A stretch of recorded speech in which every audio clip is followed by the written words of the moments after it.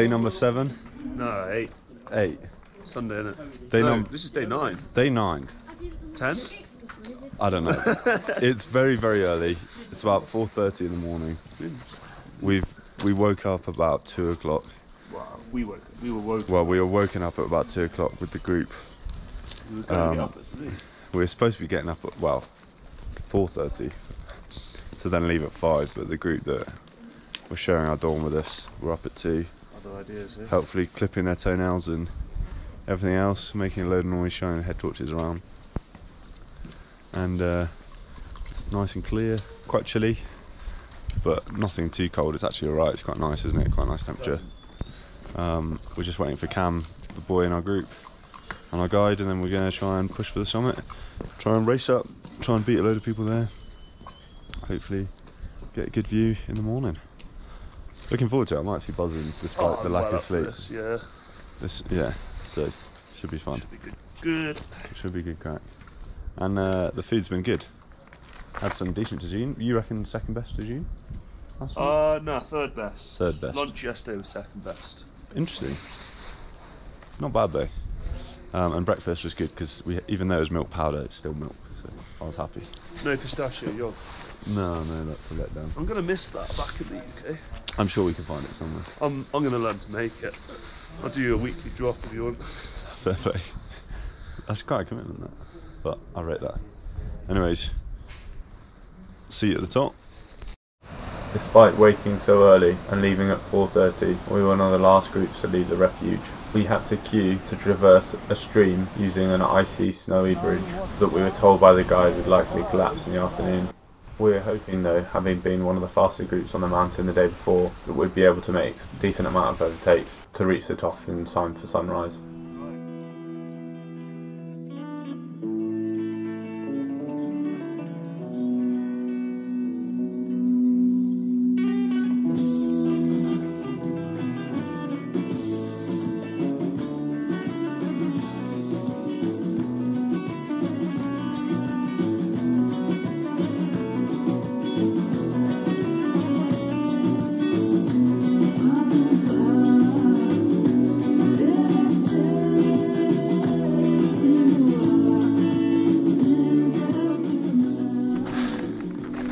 After about two and a bit hours walking, we've climbed up from the refuge. The sun is rising, the moon is still up, the boys are down there, and the summit of Jebel Toubkal is just behind us. Absolutely buzzing. This is so epic. To be fair, felt good this part of the climb I felt a bit bit meh before but this part just felt absolutely epic. And uh, looking forward to trying to get time lapse of the sun rising.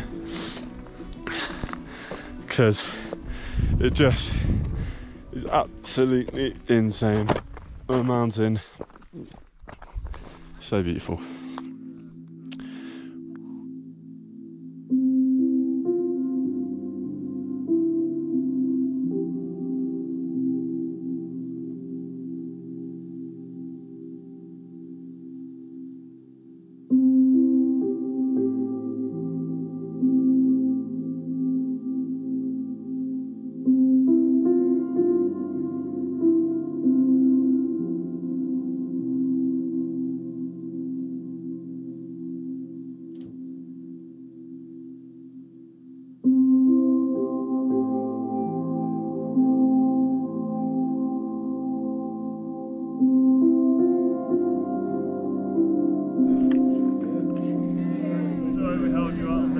Not at all. You're smashing it.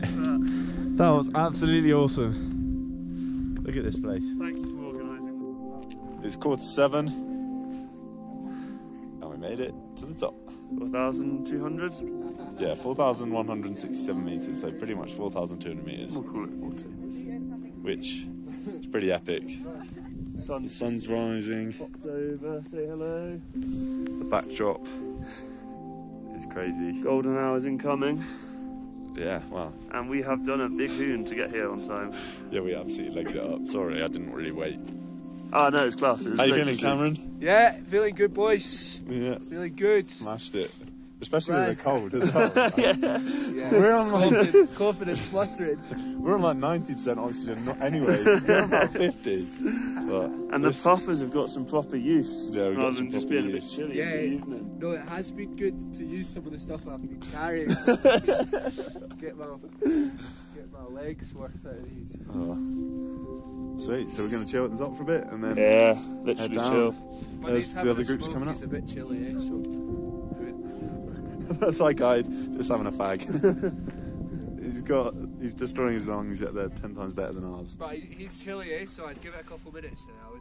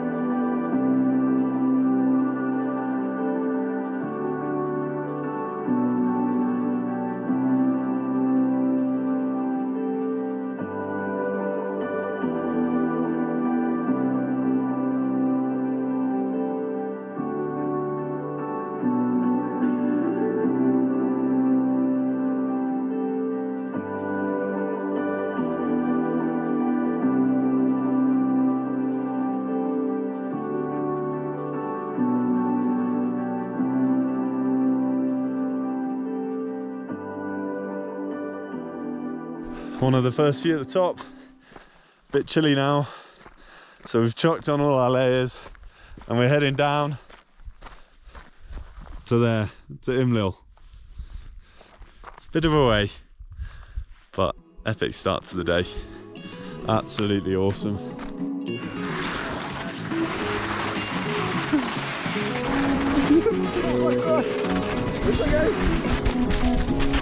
Yeah,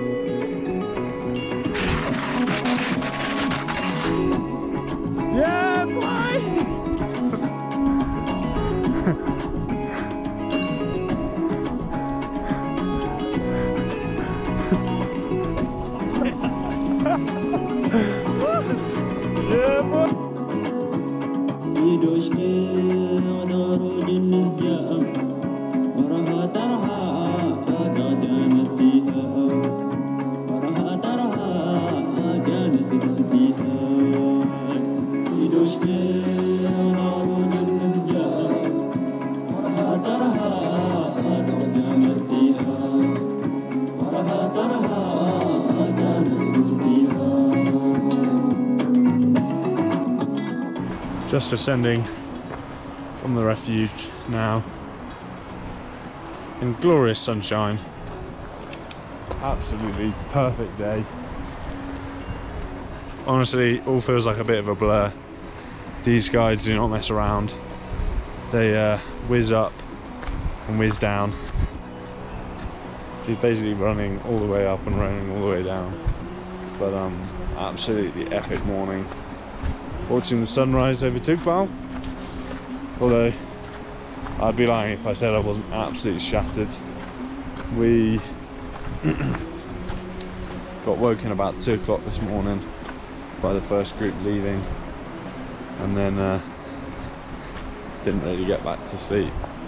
Um, and then left, ate breakfast around four-ish and left about 4:30. Still, we're only second group up, even though we're probably one of the last to leave.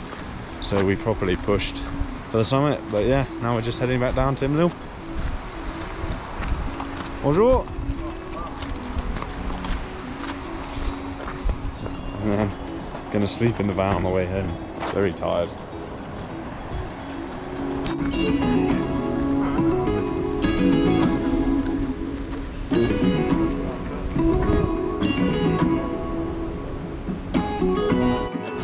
How do you keep your water nice and cool at the top of the mountain?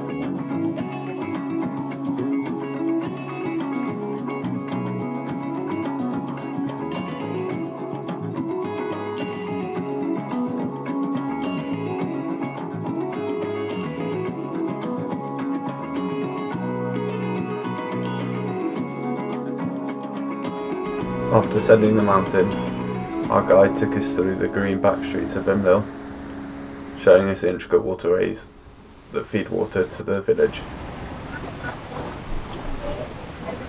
We then stopped at one of the local restaurants for lunch, before jumping in the van to head back to Marrakesh, where we all fell fast asleep.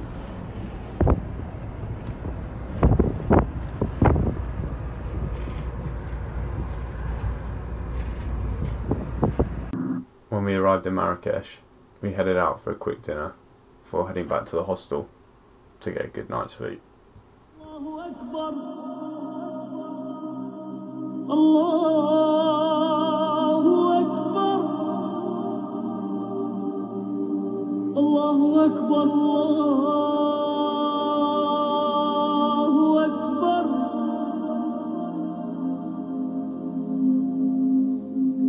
أشهد أن لا